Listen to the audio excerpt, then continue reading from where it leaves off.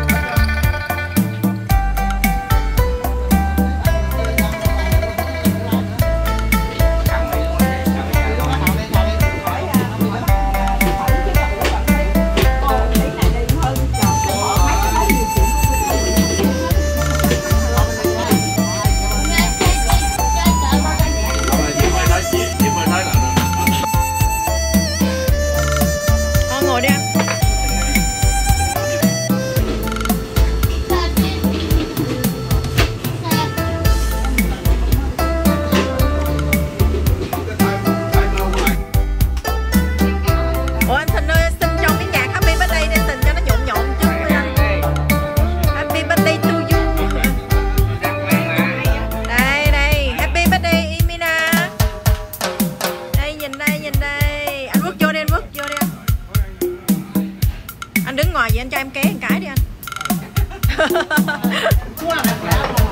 Không anh ngồi đi anh ngồi với vợ anh đi.